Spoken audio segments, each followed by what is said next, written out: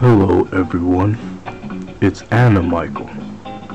In this video, I'm going to share 20 of my unpopular opinions regarding the Super Smash Bros. games. Keep in mind that these are not all unpopular, meant to be taken seriously, or to change your ideas about the games. Enjoy! Number 1 Kirby is one of my favorite characters in Super Smash Bros. Melee. I'll admit he wasn't as strong as in the original, but he's still fun to play as, and some of his copy abilities were powerful. Number 2 I think that Duck Hunt is a clever replacement for the Ice Climbers in Super Smash Bros. 4. They both come from retro NES games have a multiple character unit, and use creative specials while in the fray.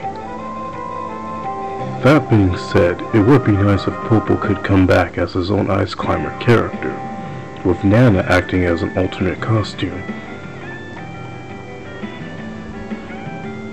Number 3 Jigglypuff is one of my favorite playable characters in all of Smash Bros. Her cutesy appearance and silly specials are what make Smash so fun and cartoony in the first place. Plus, perfect timing that rest attack is so satisfying. Number 4 I didn't think that Sonic was too weak in Super Smash Bros. Brawl.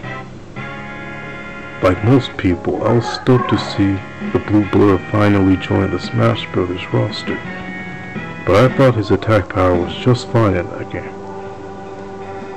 I don't expect the world's fastest hedgehog to be that strong anyway, and his final smash was incredibly powerful. I did like that he was made stronger in Smash 4 however. Number 5. I don't see how Meta Knight was overpowered in Brawl. I'll give him credit for his impressive recovery, but I thought that he was rather weak overall.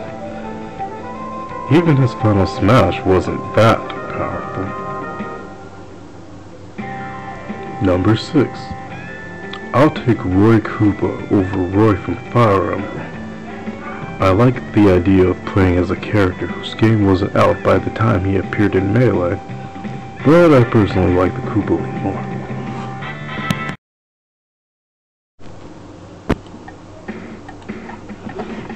Number 7 Ganondorf is my favorite playable character from the Zelda universe. While he is essentially a slower, stronger Captain Falcon, I dig the darkness element used in most of his moves. Plus, nailing a reverse aerial Warlock punch is almost as satisfying as Jigglypuff's rest attack. Number 8 Princess Zelda is a better character for me than Sheik once I got used to her. Granted, Sheik's moves are fast, easy to land, and do a reasonable amount of knockback. But at the end of the day, Zelda's moves are more powerful, and her Phantom Slash is a good shield against projectiles. Number 9. Dark Pit is not a wasted character slot. Frankly, I wasn't thrilled about getting Dark Pit as a full character rather than an alt costume at first, but he plays really good. The Electroshock arm deals a nice amount of knockback, and his final smash is pretty cool. And while we're talking about clones, number 10. I really don't have a problem with clone characters in Smash Bros. They add a nice bit of variety to the roster and show off some interesting differences from their counterparts. For example, Lucina has an easier playstyle than Marth, while Pichu is a faster, more agile Pikachu. Number 11. Changing a character's color is my favorite thing to do in the Smash Bros. games. Just the idea of changing a character's costume color is something I really enjoy doing, and Smash has some creative ideas.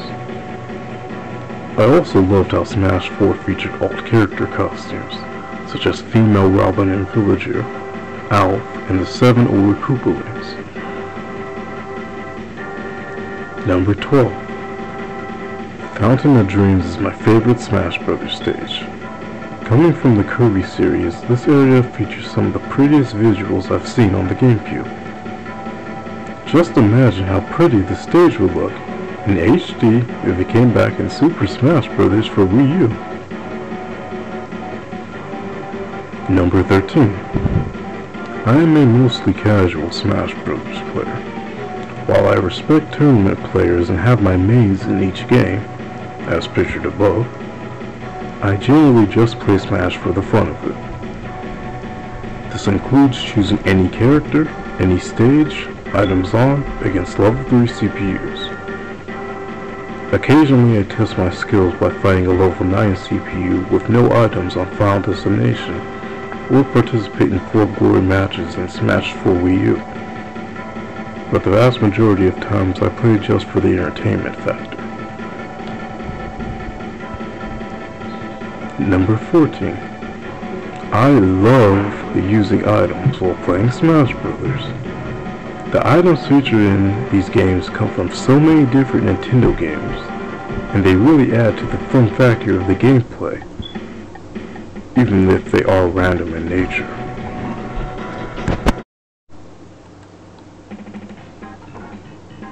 Number 15. I think that the Subspace Emissary would make a great standalone game. Personally, I did not enjoy the Subspace Emissary mode for Brawl. I thought it was too dark and time consuming.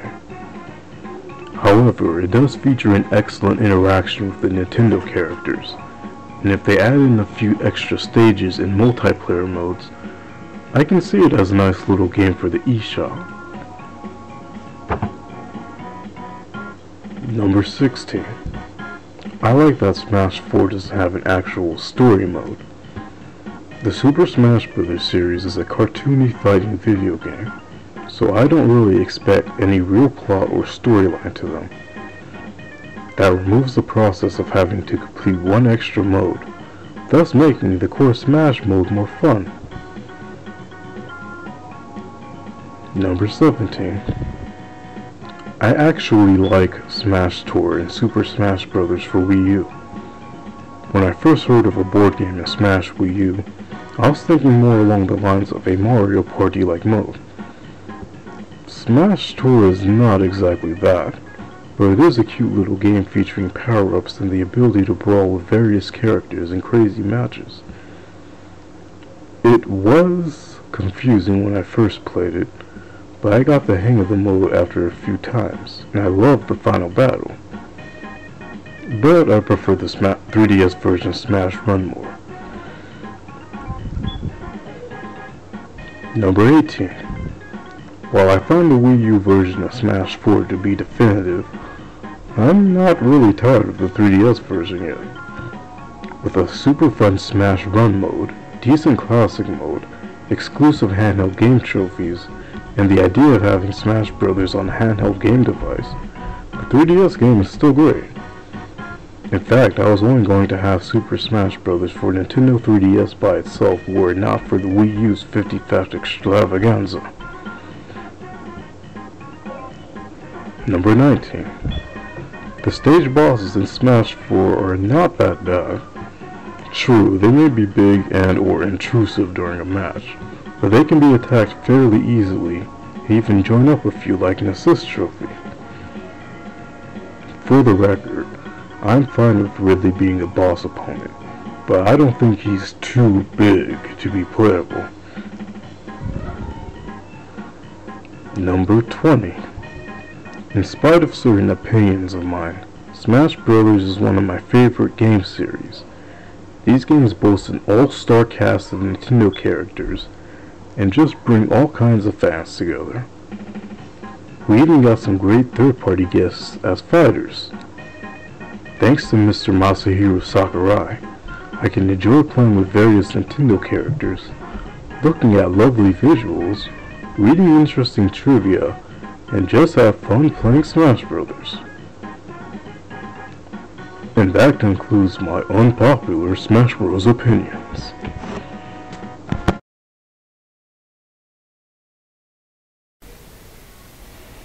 Now that's what I'm talking about.